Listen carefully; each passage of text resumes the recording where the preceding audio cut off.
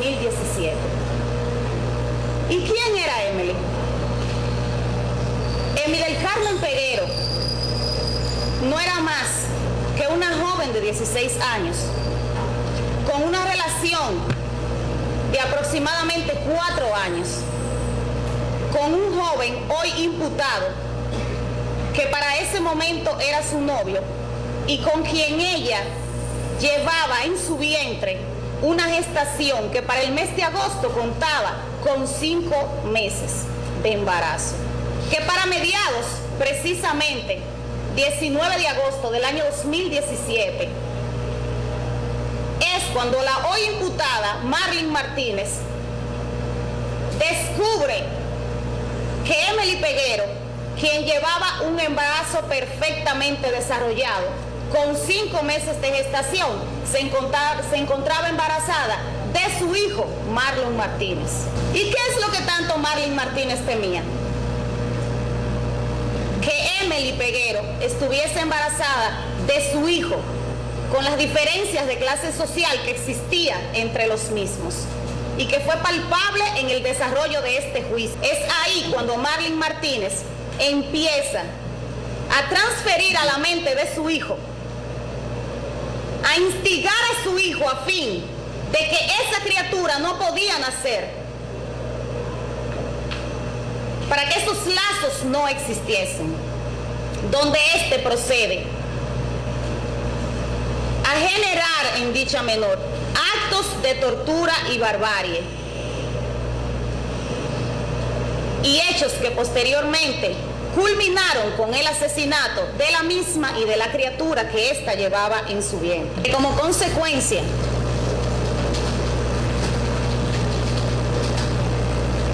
de la concurrencia de dichos hechos por parte de dichos imputados, se ha condenado el imputado Marlon Martínez cumplir la pena de 30 años de prisión y la imputada Marlene Martínez a cumplir la pena de 20 años de prisión.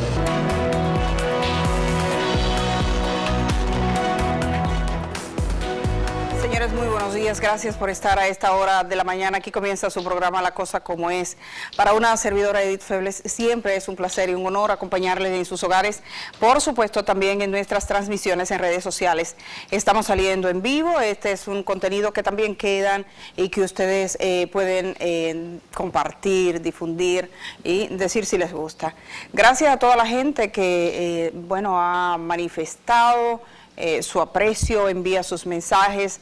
Eh, yo tengo un correo disponible para ustedes, es periodistaeditfebles.com y ahí, bueno, vamos eh, recibiendo incluso denuncias y personas que quieren participar.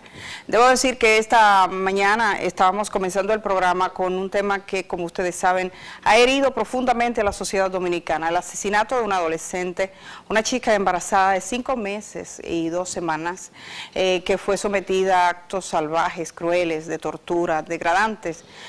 eh, no hay una manera de calificar lo que ocurrió con Emily. Emily Peguero, esa chica de 16 años de San Francisco de Macorís, y que el pueblo de San Francisco se plantó en las calles pidiendo justicia, y eso es lo que ha permitido que estemos llegando a la parte casi final de este proceso.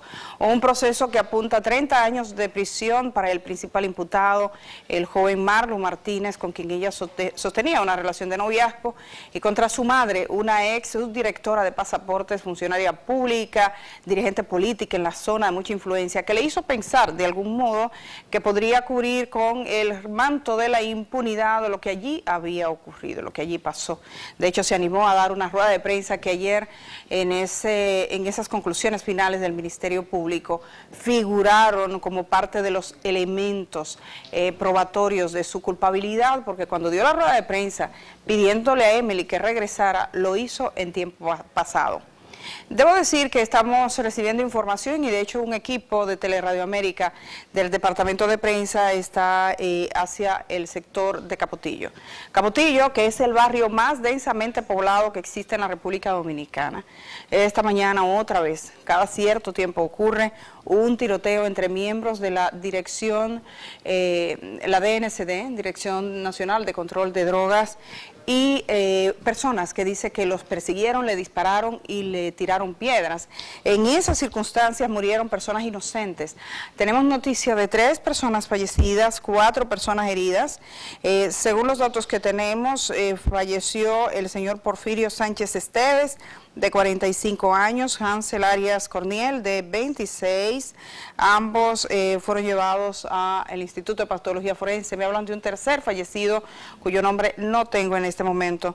También tenemos heridos a Juan de León de Jesús Reyes, eh, de 63 años, eh, Mariano Sánchez Vázquez, de 57 Nefi de Jesús Serra Pérez de 18. Hay eh, muchas versiones, hasta ahora eh, no conocemos eh, con amplios detalles en la Dirección Nacional de Control de Drogas. Ha formado una comisión para investigar lo que aquí ha ocurrido, según lo que tengo entendido en este operativo, que era comenzando la mañana, estaba presente el Ministerio Público, así que más adelante, por supuesto, las autoridades estarán reportando algo formalmente de lo que pasó. En este día, la propuesta nuestra es la siguiente. Vamos a conversar con el embajador de Brasil en República Dominicana. Como saben, Brasil, eh, importante socio y amigo de la República Dominicana, está en una hora clave, la hora de sus elecciones. Vamos a hablar de Brasil con su embajador en República Dominicana, eh, de ese proceso. El domingo será la segunda vuelta. Sabemos que los brasileños que están aquí en República Dominicana votan aquí.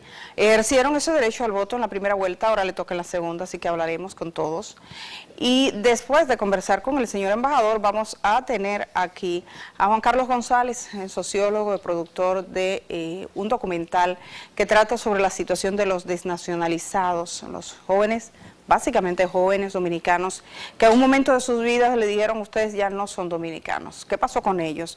Juan Carlos documentó todo ese proceso de lucha que culminó con una ley que pedía de nuevo o que ordenaba habilitarle sus documentos. Ese documental se llama Hasta la Raíz. Está en los cines de hoy, me voy con el tráiler de, de ese documental y cuando regresemos estaremos con el señor embajador.